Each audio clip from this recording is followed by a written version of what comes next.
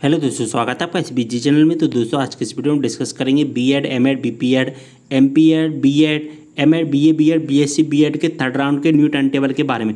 जी हाँ दोस्तों third round का थर्ड राउंड स्टार्ट हो चुका है थर्ड राउंड के लिए न्यू टाइम टेबल भी आ चुका है। जैसा कि आप स्क्रीनशॉट में देख पा रहे हैं, यानी कि थर्ड राउंड के लिए एक एडमिशन शेड्यूल है वो जारी कर दिया गया है। क्या एडमिशन शेड्यूल रहने वाला है और कब से कब तक आपका एडमिशन होगा थर्ड राउंड में? फ़र्स्ट राउंड कंप्लीट हो चुका है सेकंड राउंड भी कंप्लीट हो चुका है। अब थर्ड राउंड स्टार्ट हो चुका है थर्ड राउंड में कब से कब तक एडमिशन शेड्यूल रहने वाला है, सब कुछ इस वीडियो के माध्यम से देखने वाले हैं। तो जो भी चैनल पर विज़िट करें रिक्वेस्ट करूँगा चैनल को ज़्यादा ज़्यादा सब्सक्राइब कर लेना है।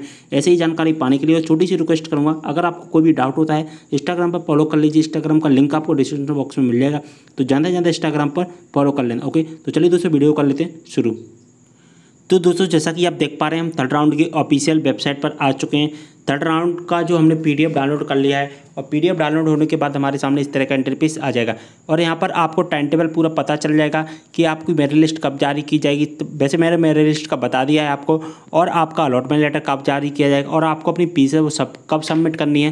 यानी कि थर्ड राउंड के बारे में मैंने आपको सब कुछ इस वीडियो के माध्यम से बताने वाला हूँ। तो दोस्तों, जैसा कि आप देख पा रहे हैं रजिस्ट्रेशन करने की जो तारीख थी, जो डेट थी, वो चौदह सितंबर से लेकर उन्नीस सितंबर के बीच में रखी गई थी, जैसा कि आप सभी को पता होगा।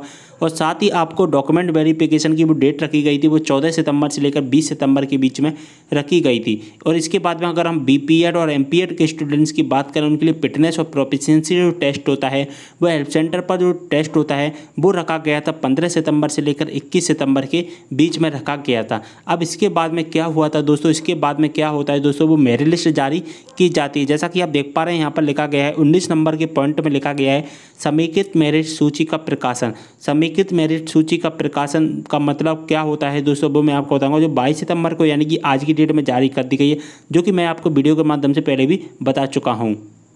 तो दोस्तों बात कर लेते हैं, समेकित मेरिट सूची का मतलब होता है दोस्तों मेरिट लिस्ट आना। यानी कि ओनली अभी मेरिट लिस्ट आती है, आपकी पोजीशंस आती है, आपकी रैंक आती है, आपको किस रैंक पर मेरिट किया गया है ओनली आपकी रैंक आती है। आपको कोई भी कॉलेज अलॉट नहीं किया जाता है कॉलेज का नाम नहीं बताया जाता है कि आपको कौन सा कॉलेज मिला है, ऐसा कुछ भी नहीं बताया जाता है। ओनली रैंक आती है कि कौन सी रैंक मिली है आपको और आपके कॉलेज का नाम नहीं आता है। रैंक आ जाती है, आपकी परसेंटेज आ जाती है, कितनी परसेंटेज से आपको लिया गया है, साथ ही आपका रजिस्ट्रेशन नंबर वगैरह सारा बता दिया जाता है और कितने सारे कैंडिडेट को लिया गया ये भी बता दिया जाता है। लेकिन आपको कॉलेज अलॉट नहीं किया जाता है। अभी ओनली बाईस सितंबर को मेरिट लिस्ट जारी कर दी गई। अब दोस्तों बात करते हैं कि अब मेरिट जो हमको कॉलेज कब अलॉट किया जाएगा? तो कॉलेज अलॉट किया जाएगा, जैसा कि आप देख पा रहे हैं ट्वेंटी नंबर के पॉइंट में लिखा गया है मेरिट एवं वरीयता अनुसार। यानी कि आपको जो मेरिट आई है, उसके अनुसार तृतीय चरण में सीट आवंटन सीट आवंटन का मतलब होता है, आपको कॉलेज का नाम बता दिया जाएगा कि आपको कौन सा कॉलेज अलॉट किया गया है।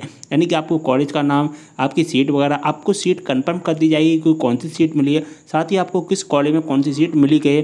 तो ये आएगी हमारी छब्बीस सितंबर। कब आएगा दोस्तों? छब्बीस सितंबर शनिवार को आ जाएगा।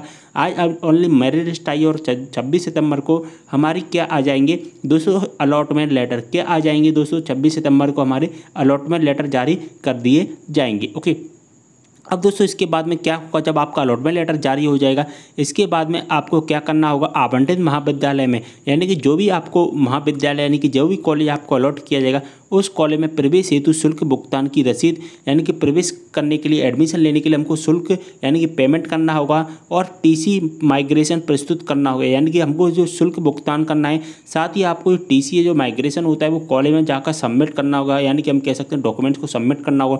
साथ ही फ़ीस की स्लिप भी। अब तो सब बात करेंगे फ़ीस कैसे सबमिट होगी तो फ़ीस सबमिट होगी आपकी ऑनलाइन जो कि छब्बीस सितंबर से लेकर आपको तीस सितंबर के बीच में आप अपनी जो फ़ीस है, वो सबमिट कर पाएँगे। ओके? तो इस तरह से आपको पूरा प्रोसेस अपनाना होगा। छब्बीस सितंबर को आपका अलॉटमेंट लेटर आएगा और आपकी मेरिट अगर आपने चेक नहीं किया है मेरिट लिस्ट को तो मेरिट लिस्ट को चेक कर लीजिए। मैंने लिंक वीडियो के डिस्क्रिप्शन में डाल दिया है। उस वीडियो को देखने के बाद वो सारे डाउट है वो कल जो कि आपको क्लियर हो जाएँगे कि आपके मेरिट लिस्ट में नाम आया है या नहीं। और छब्बीस सितंबर का वेट कीजिए, उसमें आपको कॉलेज का नाम भी बता दिया जाएगा। तो ये थी थर्ड राउंड की पूरी प्रोसेस अच्छे से समझ में आ गई होगी थर्ड राउंड यानी कि B A B Ed B S C B Ed B A B Ed M Ed इस इन कोर्सेज के लिए थर्ड राउंड की मेरिट का पूरा प्रोसेस आपको कंप्लीट हो गया होगा। अगर आपको राउंड से संबंधित अगर आपको कोई भी डाउट होता है तो कमेंट करें। इंस्टाग्राम पर फॉलो नहीं किया तो इंस्टाग्राम पर फॉलो कर लीजिए। तो ज़्यादा से ज़्यादा इंस्टाग्राम पर फॉलो कर लेना। कोई भी डाउट होता है तो कमेंट करके ज़रूर बताओ इस वीडियो को ज़्यादा से ज़्यादा शेयर कर देना। ओके तो दूसरे वीडियो को पर करते समाप्त। मिलते हैं इस वीडियो के साथ। तब तक ली बाय